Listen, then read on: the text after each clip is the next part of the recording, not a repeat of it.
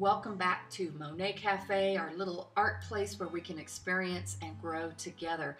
Today is just another basic sketching exercise and lesson that it's my hopes to help uh, create good art habits for you and good drawing skills and observational skills of being able to recreate accurately what we're trying to draw is totally the, the foundation of drawing and good art.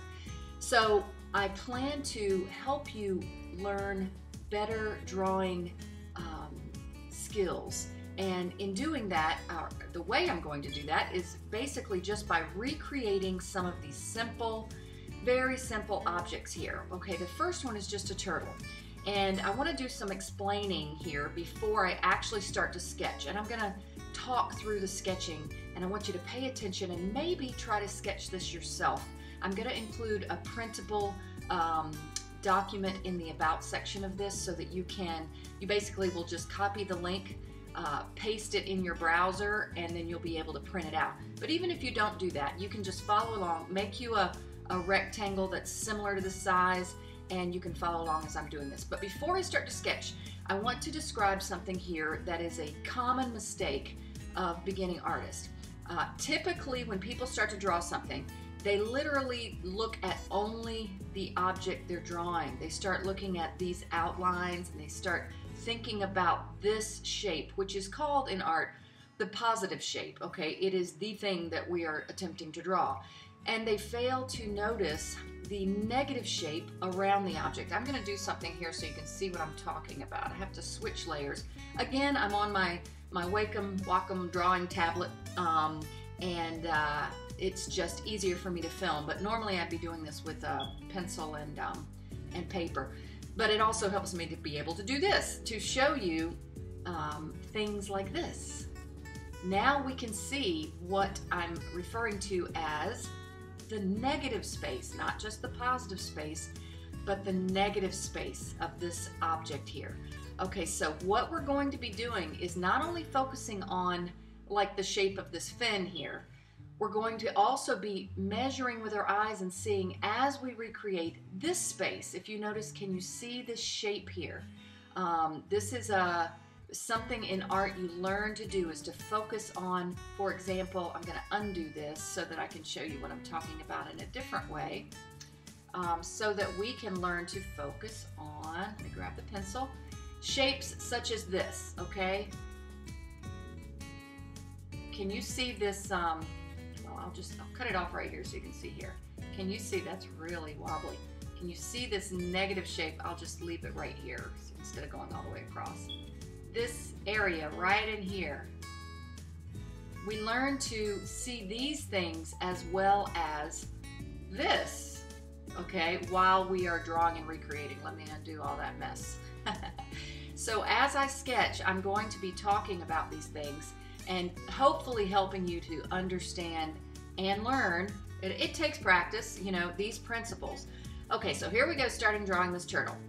First of all, I think I'm just gonna start at the head and um, I want to accurately measure, but I also want to just keep my stroke very light. Um, in other words, we don't want to commit to it right away, such as me just real, I have it on a light setting, so it's gonna be light, such as me just all of a sudden saying, this is the turtle's head and this is where it's gonna be, I'm gonna do a really hard line or anything. Okay, so we're not going to do that. What I'm gonna do is I'm gonna keep a real light touch. I'm gonna start uh, at the beginning making some mental measurements, okay? So I notice here kind of the distance with this little peak of the turtle's head here.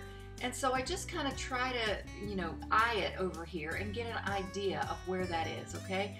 And I notice too there's a little like flat part of his head. And then I start noticing how far away is is it here, okay?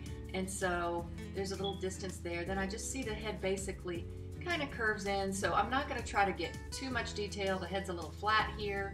It curves down here. So we got a little basic idea of the head. It's probably gonna be a little bit shaped differently when we're done, okay? So an idea of the head. Now I immediately see right here, this shape right here that we were talking about before. So, and it happens right there at the base of the head. Okay, so we've got this little it's a kind of curves up a little bit. And then uh, also too, see where I'm gonna end up with this line. The fin curves right about here. Okay, so it's gonna be right about there. So I know to kind of, I see this angle right here. I know to angle it up right about to there to curve it over. I'm gonna go a little lower.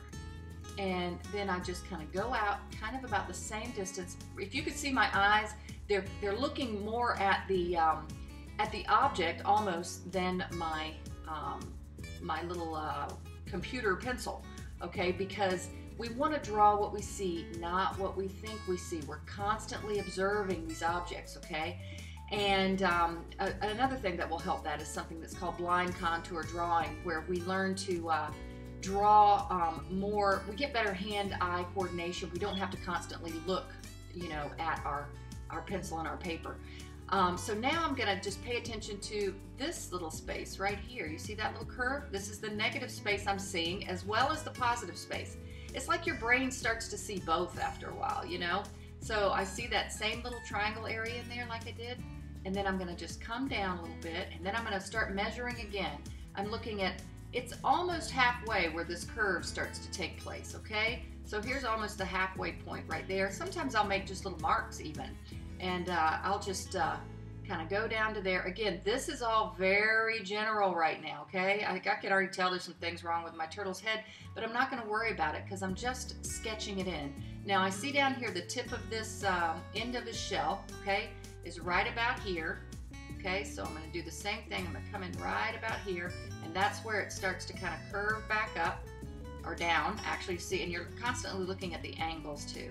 So it curves back down. Now where does this point end? It ends not quite halfway and you know just a, a, little bit up from the paper here. Okay, so we're not quite halfway and right about here. So again, I'm not as good with this um, this uh, uh, Wacom tablet uh, as I am with a pencil, but it's actually kind of good because it makes me uh, have to focus more and explain more. um, so now I'm measuring again and looking again at the angle of the shell and I'm kind of seeing where it's going to go up to before this next curve. And I see it's about a halfway mark um, coming in I can't measure here because I don't know how big your paper is but um, a little ways in here. So we're about at a halfway mark and it comes in a little bit and kind of um oops there's a little mark there kind of goes up and around for the shell and then it's going to curve over. Now I can start correcting things a little bit. Okay, so from here, it kind of goes, goes out a little and then it kind of comes in, okay? So we've got a general idea and I'm gonna fix that head later. It's a little bit too small. Um, but now we can see right in here, I'm again looking at these negative spaces as much as the positive ones. I'm seeing this right here and I want to recreate that. So I come here, you see, see how I'm doing the same shape there?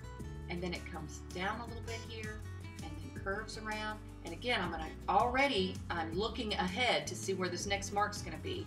And it's going to be just right about in here, okay? So we come right about in here, might be a little low. Okay, so this next fin is gonna come around and down to here. And again, I'm gonna correct some of these later.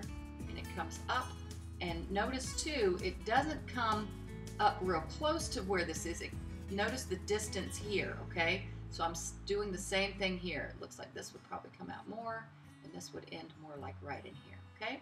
So we've got a general idea for that fin. Again, I can see some things I need to kind of correct.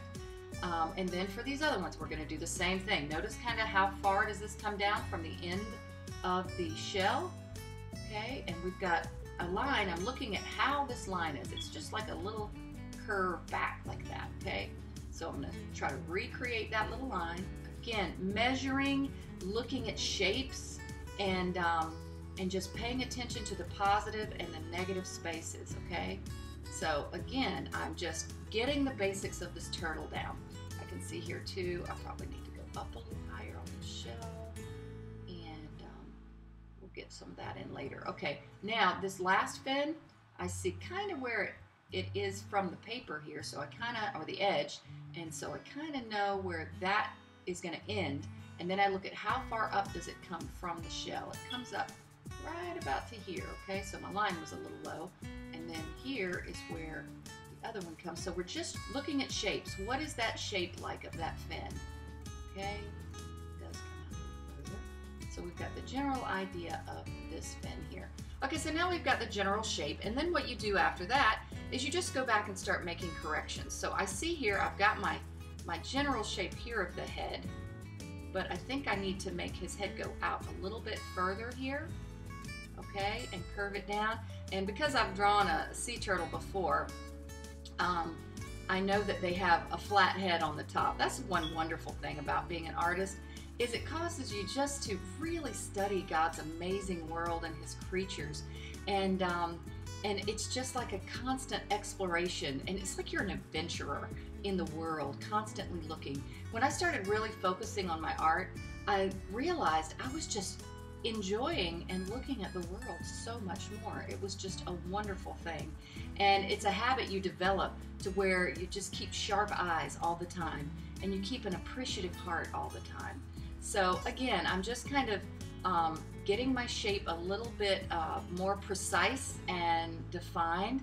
And it ends up making, I actually like sketchy qualities. So it ends up making this um, really artistic, sketchy quality like this. And you know, if you were doing a serious piece, you can sketch things in. You can later go back and erase some lines. That's why you don't want to do really hard lines with things, okay? Um, so anyway, that's just the basic idea I hope it, you can go back and rewind this and listen to some things slower if you want. Um, it's the basic idea of how to learn to measure, analyze, and um, just get your drawing skills better.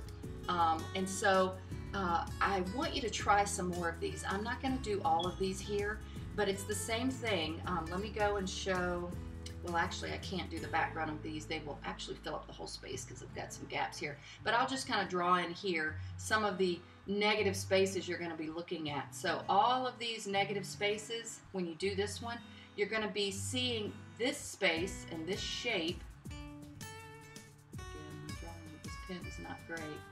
As much as you're seeing this shape all right so you learn visually just to analyze and observe and measure and a neat thing is that as you're doing these, I find that you just kind of forget about all the cares of the world.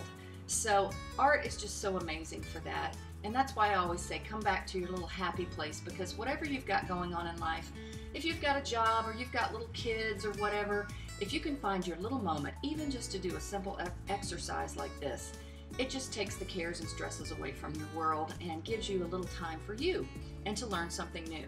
So I hope you enjoyed this little lesson. Again, I'm going to try to provide the printable. Uh, if you have kids, maybe try these with your kids. It's a good family affair, things you can do. And uh, thanks for visiting. Subscribe to my channel if you like these. I'm going to keep providing these little lessons, hopefully a few times a week.